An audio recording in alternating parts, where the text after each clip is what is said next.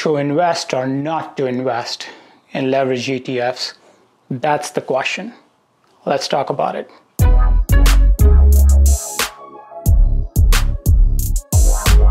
Hey guys, welcome to Think Finance. My name is Raj, and on this channel, I talk all things finance. Today, I want to talk about the most abused investment tool out there in the financial world, the leverage ETFs. Let's start by talking about some of the publications that are out there, some of the warnings that are out there on the internet. Here's a notice from Vanguard. Everyone knows Vanguard. We have our retirement accounts in Vanguard. They are a big name when it comes to investments. They made a decision that they won't allow their account holders to invest or purchase leverage ETFs. This was January 2019. On the right, you see a couple of notices that came out, or public notice as they call it, from uh, the SEC, where they warn the investors how leverage ETFs is a no no when it comes to long term portfolio. So, what does all this mean? Does that mean that you shouldn't invest in leverage ETFs at all? Forget long term, even short term, you shouldn't be touching leverage ETFs at all. I want to share with you some information I have gathered, some research that I've done, and you make a call whether it makes sense or not. So, we're going to talk about a few things. We're going to start by talking just in general what is leverage ETFs. Then I want to focus on argument against using them and then arguments in favor of using leverage ETFs. Then we'll dive into numbers. You know, I'd like to back claims with data. So let's look at some numbers. And then finally, I want to share how I am using leverage ETFs, both in the short term and from a long term perspective. So before we get into details, it's important to understand what leverage ETFs are. Right? So think about an ETF, not leverage, just ETF. An ETF tries to mimic the underlying index that it's tracking. So for example, SPY, which is an ETF, tracks S&P 500. So 1% move in S&P 500 means 1% move in SPY, the ETF. A leveraged 3x tries to multiply or amplify the gains by 3x. So a 1% move in S&P would be amplified to three times the same move. So 1% up, 3% up, 1% down, 3% down for a leverage ETFs. Wait, so how do they do this? Well, leverage ETFs use derivatives, options, forward futures, swaps, all these different tools. The goal is to amplify gains there are two types basically. There's a bulls and then there's a bear side.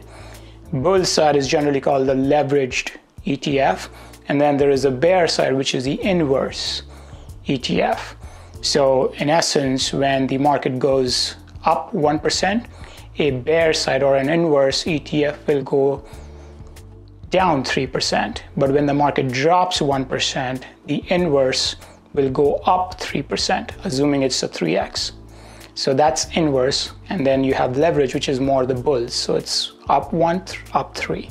There are two companies today that offer these products Direxion, Direxion, Direxion.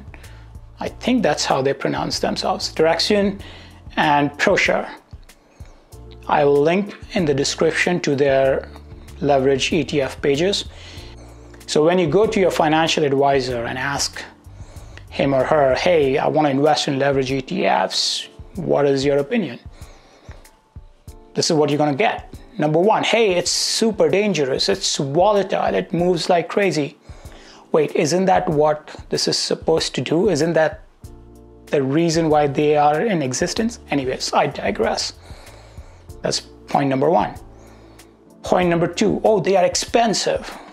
0.95% expense ratio true, and I think that's a genuine argument. They are expensive. The other thing you will hear is time decay. They'll say, hey, over time they lose value, and you know that's not good.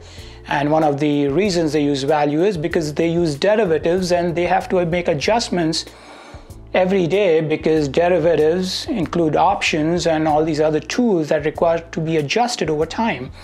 They also have expense uh, associated to it, the expense, the 0.95%, which also leads to adjusting the value of that share. So you shouldn't hold it longer than a day because otherwise, over time, you're going to lose value.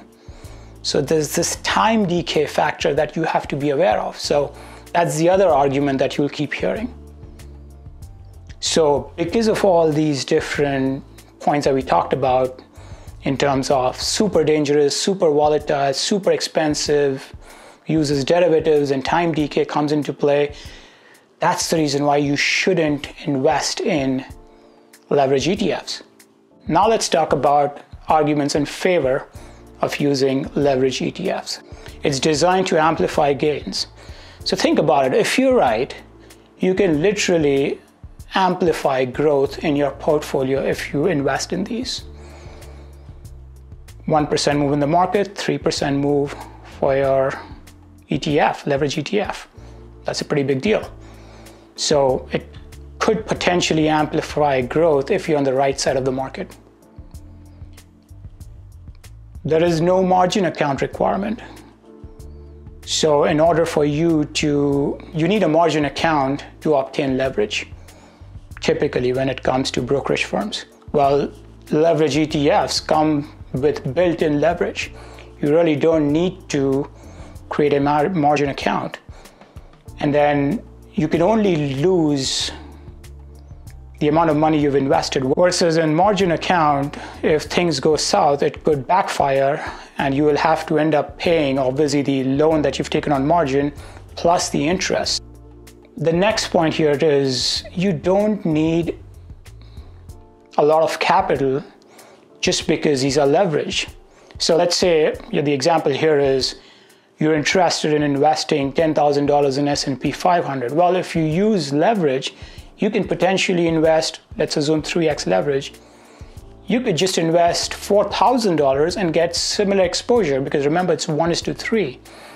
So all you need is 4 grands, give or take, to get the same level of exposure versus if you had invested in a non-leverage index, which is for S- S&P 500 is S- SPY. You get the same exposure with less money. Isn't that great? and then it's a hedging tool. It could be a hedging tool. The inverse ETFs. So when you're expecting the market to drop, you could potentially invest money in an inverse ETF. So what does this mean? What does all of these arguments mean to a normal investor like you and I? Let's start with some numbers. Here's a slide which talks about the returns of some of the biggest leverage ETFs out there. Since they were introduced, most of them were introduced in 2009, 2010. Let's start with TQQQ, which tracks the NASDAQ 100. Since inception, they have returned, this uh, particular leverage ETF has returned 49% year over year. Okay, UPRO, which tracks the S&P 500, has returned 39% year over year. TECL, technology sector, 49%. SOXL, again, 41%. This is the this tracks the semiconductor industry. This data is true as of December 31st, 2019. So if you invested when they were first introduced in 2009, you pretty much made what 40% on an average 45% on an average every year. Let's take it to the next level. Let's assume you had $20000 to invest in 2009 and you invested 10,000 in UPRO and 10,000 in SPX or SPY, the ETF that tracks SPX or S&P 500. Look at this chart. If you did that, UPRO, that same $10,000, the ending investment, pretty much what that means is the value today is 315,000 and the ending investment value for SPX is $36,000.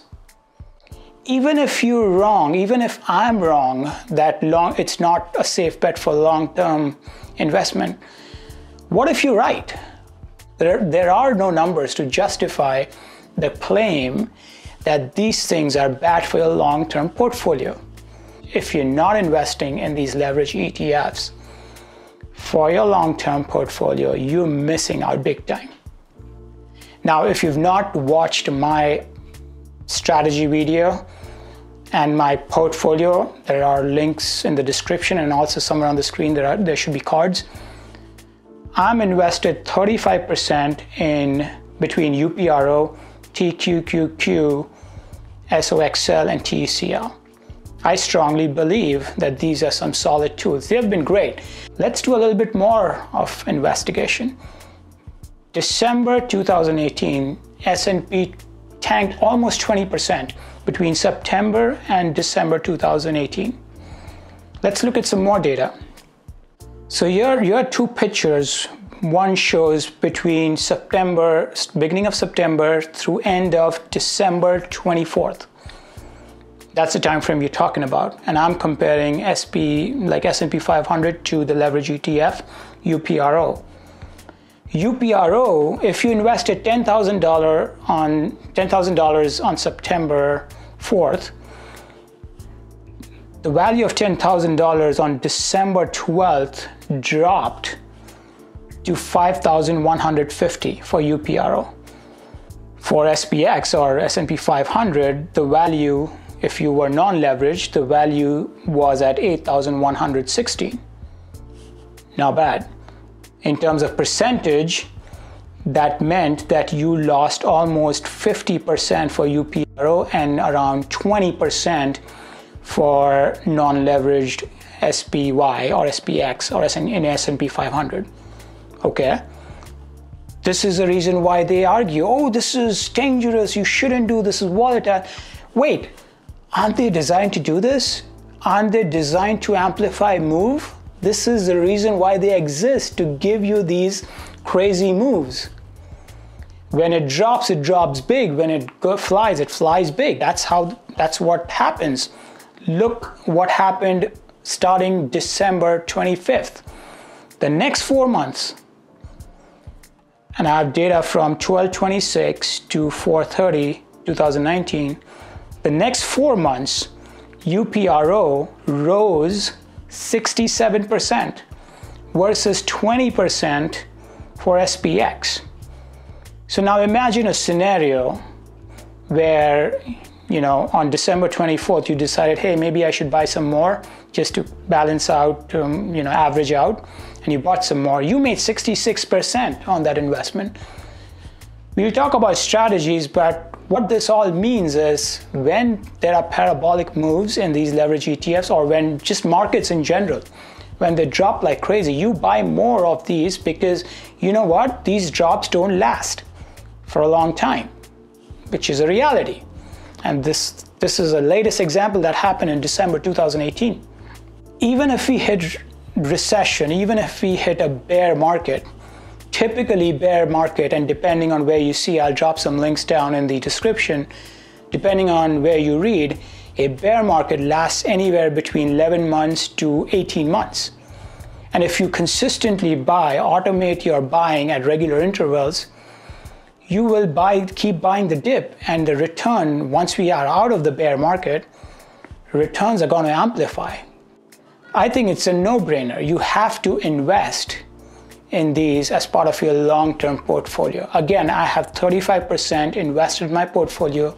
You can track my portfolio on M1 Finance, link in the description. All right, so now let's talk about some of the ways I am using these, right? So what I am doing is I've got two accounts, one in M1 Finance, which tracks my long-term portfolio, and then I have stash of money in my Robinhood account. I start with $20,000 in Robinhood. and I invest. It's more short term trading, and I use this, and I'll make a video on how I trade these. This is more trading, the other is more investing. But I have my stash, and I don't add anything more to my stash 20,000 I started with. Every time, and I just use that to invest in leverage ETFs. And primarily, this is TQQQ, is what I invest in. As soon as I reach a certain threshold, let's say I've made and my threshold is $25,000. As soon as I hit $25,000 in terms of account value, I will withdraw 5,000 from my Robinhood account and drop it into my M1 finance account, which is my long-term portfolio. So, so that is all short-term. But what about the long-term? First of all, you need to have a trading platform that allows you to automate your investments. M1 Finance allows me to do that. It allows me to automatically invest. Second, you need to decide what your allocation is in leverage ETF. And it depends on what your risk level is. For me, I'm putting aside 35%. That's it. 35% will go in my leverage ETF. Every month, M1 Finance pulls money from my checking account, drops it into my portfolio, and based on my allocation, makes the investment.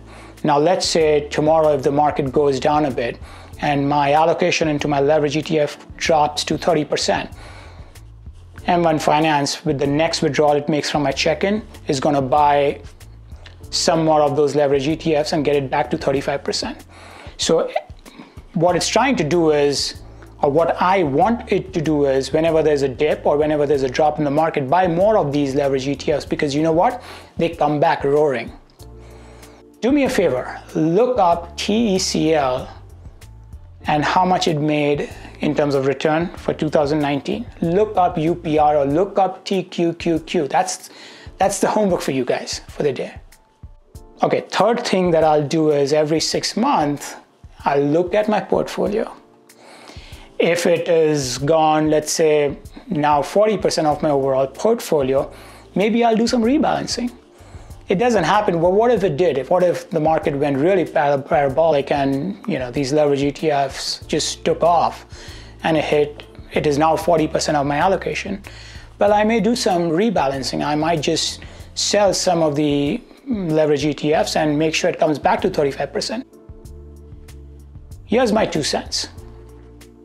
I think if you're not investing in these leverage ETFs as part of your long-term portfolio, you're missing out. I'm not making this up. Numbers talk for themselves. And it's not just one or two year data. This is since inception, they have been outperforming. Yes, they will drop. If you have a heart that is not the strongest out there, don't invest. Remember, when things these go south, they'll go south like crazy. But when they return, you will feel like a genius. So automate your workflow where automatic investment happens, set aside an allocation. For me, it's 35%. For you, it could be 20%. Stay in cash a little bit. For me, it's 15%. I have 15% of my portfolio is in cash just because when I have to buy more, more than my usual allocation, like more than what M1 Finance automatically withdraws, I have certain percentage of money set aside. And then if you have to over time rebalance, do the rebalancing. Again, if you're not investing in this, you are missing out. I hope you like this video. If you did, smash that like button.